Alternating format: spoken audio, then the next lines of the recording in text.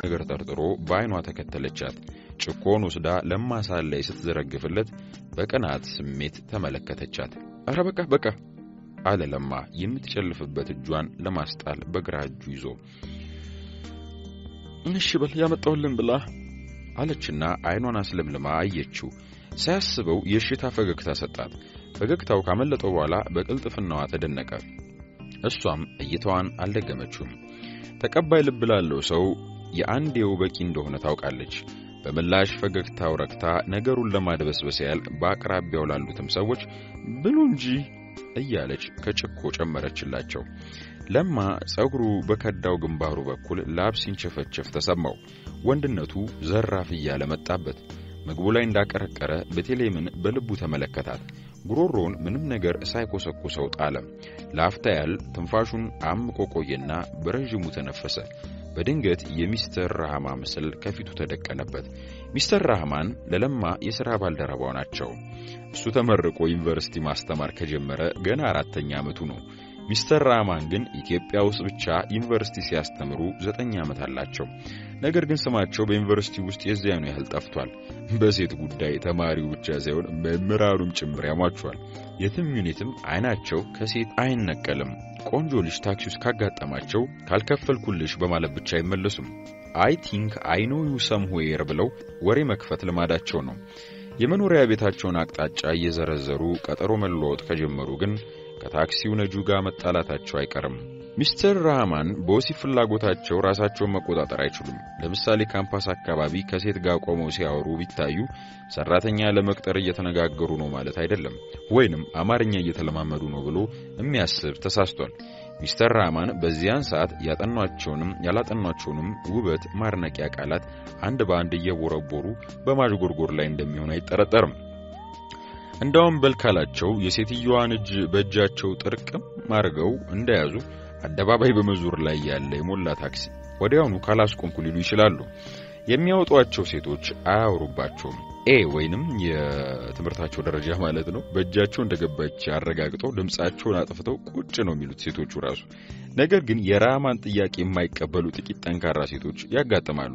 እነዚህኞቹ ለቅርብ ጓደኞቻቸው አንቺዬ ይህ ሽማግሌ ህንድ እኮ ላውጣሽ አለኝ አያፍርም እንዴ በእናትሽ ምን ቅሌታም ነው ሲሉ ይሰማል። ወሬው እንዲህ እያለ ይራባል። ወንዶች ይህን ዕድል ባይታደሉትም አንዳንዶቹ በአገናኝነት በማገልገል የበኩላቸው ሚና ይጫወታሉ እየተባለም ይወራል። ከዚህ አድነኝ በማለት አይነት ለማ ግንባሩን ቋጥሮ ራሱን ነቀነቀ። ከራሱ ጋር ቅራኔ ውስጥ ገባ። ቤተልሔም የጭኮውን ሳህን ከጠረጴዛው ላይ መልሳ እየተፍነከነከች ሙሽራዋ ስትለባብስ ወደ ቆየችበት ክፍል ሄደች። ማርታም አይጥ እንዳየች ድመት በዓይኗ ስትከታተላት ቆየች። ወደ ገባችበት ክፍል ዘው ብላ ገባች። ውይ ኮቴሽ ሳልሰማ እንዴት አስደነገጥሽኝ! አለች ቤተልሔም በደስታ የሚስቁ አይኖቿን ማርታ ላይ ተክላ። በቁም ሳጥኑ መስታወት እያየች ጸጉሯን ስታስተካክል ነበር የደረሰችባት። አለ ነገር አለች ማርታ በከፊል ቀልድ ከፊል ቅናት በተደባለቀበት ሞዛዛ አነጋገር። ከግብዣ መሀል አንስነስቶ ጸጉር የሚያስበጥር አለ ነገር አለ ነገር። አጣሽው ማርትዬ? አለ እንጂ ጥብቅ ነገር። ሰርግና ምላሽ መሀል ከመምሬ ጋር ስገጣጥም አለች ዜማ ቀረሽ በሆነ ድምፅ። መምህርሽ ነው እንዴ ስትል በቁም ነገር ቃና ጠየቀቻት። አይተሽዋል እንዴ ስትል ቤተልሔም ጥያቄውን በጥያቄ መለሰች። አይቼዋለሁ ያ ራሰ በራው ሰውዬ አይደለም እንዴ አለቻት ማርታ። ጸጉርሽ እሾ በዘር ሊሆን ይችላል እንጂ እሱ እኮ ገና ወጣት ነው አለቻት ቤተልሔም። ማለት እኮ ምልክቱ ነው እንጂ እሱማ እድሜውን መግለጽ እኮ አይደለም። አዎ እሱ ነው፣ ግን ከምን ያዋየሽው አያንቺ ስትል ቤተልሔም ታዘበቻት። ይህንም ማለችና በሚስጥር አይነት ድምጿን ዝቅ አርጋ አንድ ኮርስ ያስተምረኛል አለቻት። ለማንኛውም ነገር እድልና አጋጣሚ ያስፈልጋል አለች ማርታ በልቧ። አሁን ምን ያለበት ፈጣሪ አንዱ መምሬን አምጥቶ እዚህ ሰርግ ላይ ቢጥልልኝ ስትልም ተመኘች። ፊት ለፊት ቆማ በጎን በኩል ሆና ከኋላ በኩል አንገቷን አዙራ ባለችበት ራመድ ራመድ እያለች ቤተልሔም ራሷን በመስታወት ውስጥ ተመለከተችና ምን ይወጣልኛል በማለት አይነት በኩራት ፈገግ አለች። ውፍረቷ አያስጠላባትም። በአለባበሷ ተሸፍነዋለች። የትኛውም ልብስ ከየትኛውም ጫማና ሹራብ ጋር እንደሚሄድ ጠንቅቃ ታውቀዋለች። ሱሪ አታዘውትርም። ከሰውነቷ ሁኔታ ጋር አዛምዳ ነው የምትለብሰው። ጉንጮቿ የተላጠ ብርቱካን ነው የሚመስሉት። ነገር ግን በምቾት አበጥ ስላሉ ጓደኞቿ ለጉንጮችሽ ጡት መያዣ ያስፈልጋቸዋል እያሉ ይቀልዱባታል። ፎርሟን ለማስተካከልና ውፍረቷን ለመቀነስ አንዳንድ ሰሞን ቁርስ መብላት ትተዋለች። ነገር ግን ምሳ ላይ ደርባ ነው የምትበላው። የዩኒቨርሲቲ ምሳ አይስማማትም። እንዲያው ነካ አድርጋ ነው የምትተወው። ከዛ በጓሮ በር የምትገባባቸው ቤቶች አሏት። የሆድ ነገር ከሆነ የቅርብ ጓደኛዋንም አታስጠጋ። ሹልክ ብላ ነው የምትሄደው። በቃሽ እንግዲህ ኤፍ ደግሞ ላስተማሪ ያህል አለች ማርታ በመሰላቸት አይነት። ቤቴሌም በልቧ ባይሳካልሽ ነው አለችና ሽቶ ከቦርሷ አውጥታ ጡቶቿ መሃል አርከፈከፈች። ከነጋ አራተኛ ጊዜዋ መሆኗ ነው። ተያይዘው ወደ ድንኳኑ ሲወጡ ቤቴሌም እንደ ልማዷ ወደ ሽንት ቤት ሄደች። ማርታ ነገሩ ገባትና ሳቅ አለች። ከዚህ ሁሉ ትርኢት ርቃ ዘፈኑ አካባቢ የቆየችው ትዕግስት ማርታን ፈልጋት መጣችና አንቺ ማርታ ኧረ እንሂድ አለቻት። የት አለች ማርታ ፈጽሞ የማይታሰብ ነገር እንደጠየቀቻት ሁሉ ተደናግጣ። ወደ ካምፓስ ነው። ምን ማለትሽ ነው አለቻት። የተከመረውን ጥናትና የተቃረበውን ፈተና በሚገልጽ ስሜት ግንባሯን ኩምትር ፊቷን ትክዝ አድርጋ። ትዕግስት ሰርግ ቤት መቆየቱን አልጠላችም። ብታድርም በወደደች ነበር። ነገር ግን በሐሳቧ ተረጋግቶ መቀመጥ አልቻለችም። እሷ ከዚህ ሙሽራ ጅባ ስታጨበጭብ ካምፓስ ውስጥ ተማሪው ጥናቱን ሲፈልጠው የታሪክ ትምህርቱን ሲለበልበው የፍልስፍና ትምህርቱን ሲሰነጣጥቀው የሂሳብ ትምህርቱን ሲያላምጠው በሐሳቧ ቁልጭ ብሎ እየታያት የመበለጥ ስሜት ተሰማት።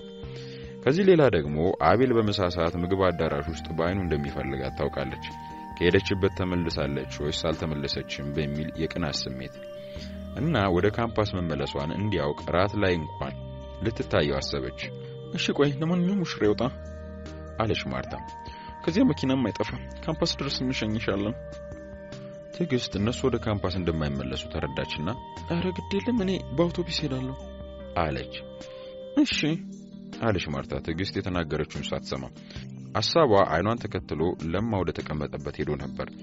ለማ ለተወሰኑ ደቂቃዎች ቤተልሔም ከአይኑ ጠፍታበት አዳራሹን ግራ ቀኝ ሲማትር ድንገት ከጀርባ በኩል ከተፋለችበት። ብሉ እስቲ ምን ጎደለ? እዚህ አካባቢ ጠፋውባችሁ አይደል? አለች ገና ከመድረሷ በሌላ መደዳ የቆየች ለማስመሰል። አብዛኛዎቹ መብላት አብቅተው ወደ መጠጡ አዘንብለው ነበር። የተደጋገሙ መስተንግዶ አስደነቋቸው። እሷን በሙሉ አይናቸው እሱን ደግሞ በስርቆት ተመልክተው ግብዣዋን በማመስገን አይነት እጅ ነሱ። የቤተልሔም ሙዚቃ መሳይ ድምፅ ጆሮውን ብቻ ሳይሆን ልቡን ጭምር ቢነካውም ለማ ወደ ኋላ ዞር ብሎ አልተመለከታትም። መኩራቱ ሳይሆን መቆጠቡ ነበር። ብርጭቆውን እንዳጎደለ ተመለከተችና እጇን በማጅራቱ በኩል አሳልፋ ከጠርሙሱ እየቀዳችለት በጀርባ በኩል በመቅዳቴ ይቅርታ አለችው። ምላስ እንደሌለ ሁሉ ምንም አይደል በማለት አይነት ጭንቅላቱን ነቀነቀ። ደረቷ ለአፍንጫው በጣም ስለቀረበ የሽቶ መዓዛ ክፉኛ አወደው። አሁንም ወንድነቱ የሽቶ መዓዛ እያማገ ከሱነቱ ውስጥ ዘራፍ ሲል ተሰማው። ምን አባቷ ትፈታተነኛለች አለ በልቡ። ብርጭቆ ቶሎ እንዳይሞላ ቀስ ብላ እየቀዳች ትቆያለህ ወይስ ትሄዳለህ ስትል ሹክ አለችው።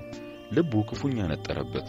ለእሷ መልስ በመስጠት ፈንታ ቀስ ብሎ አጠገቡ የተቀመጡትን ሰዎች ማተረ። እሷ ድምጿን ዝቅ አድርጋ ፈጥና ሌሎች እንዳይሰሙ አድርጋ ነበር የጠየቀችው።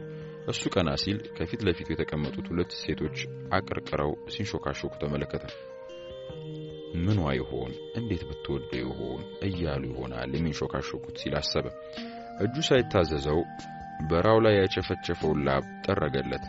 ሲያሳጣው ማለቴ አለችው ቤተልሔም መልሱ ስለቆየባት።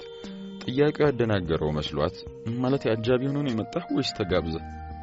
ኧረ ተጋብዤ ነው አላት።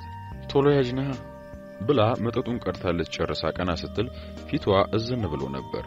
በዚያው ቅጽበት አይኗ ውስጥ የሆነ ነገር አንብቦ በርታ ልቤ እያለ ግን ምን አይነት አይን ነው ያላት ሲል ተደነቀ። ቤተልሔም በቆመችበት ተቁነጠነጠች። ፊቷ ተለዋወጠ። ለማ ቶሎ የሚሄድ ከሆነ የተጀመረው ነገር አሁኑኑ ማለቅ አለበት። ከአስተማሪነቱና ከተማሪነቱ ውጪ የሚገናኙበት ቀጠሮ ማበጀት አለባቸው። ቤተልሔም ነገሩን በይደር መተው አልፈለገችም። ምናልባት ይህ አሁን በለማ ውስጥ ያበበው የስሜት ተስፋ ነገ ዩኒቨርሲቲ ውስጥ ስሜቴን ፈርቶ ቁጥብነትን ፈልጎ ወይንም በሌላ ምክንያት ሊጠወልግ ይችላል። ይህ ከሆነ ደግሞ ወጥመዷ መክሸፉ ነው። በአስቸኳይ ልቡ ሳያጋድል የስሜት እሳቱ ሳይበርድ ቀጠሮ ከአፏ ካወጣች ለመቼም ቢሆን ግድ የለም ቃሉን አጥፎ ወደ ኋላ እንደማይል ታውቃለች። ካወሩት እንዳደረጉት ይቆጠራል ነው ነገሩ። እንደ ደስታዋና እንደ ድንጋጤዋ ጊዜ ሁሉም አሁንም ለጉዳዩ አስቸኳይ መፍትሄ ለመስጠት ስሜቷ ስለተቁነጠነጠ ሽንቷ የመጣባት ውጥር አድርጎ የያዛት መሰላትና እግሯን አኩራምታ ቆመች። የለማ ልብ አርፎ አልተቀመጠም ነበር። ይንፈራገጣል። ከጥያቄዋና ከገጽታዋ ስሜቷን በሚገባ ተረድቷል። አንዳች ሰይጣናዊ ስሜት ልቡን ገፋፋለትና እጇን ጎተት አድርጎ ዝቅ ባለ ድምፅ ልሄድ ስላነጋግርሻለሁ አላት። ሳትሰማው ቀርታ ሳይሆን ጆሮዋን ማመን አቅቷት ነበር። አልደገመላትም። ቶሎ የከፋው ልቧ ቶሎ ተደሰተ። እየተፍነከነከች ከሩጫ ባላነሰ እርምጃ ወደ ሽንት ቤት ሄደች። ጠረኗ ግን እዚያው ለማጋ ቀርቶ ነበር።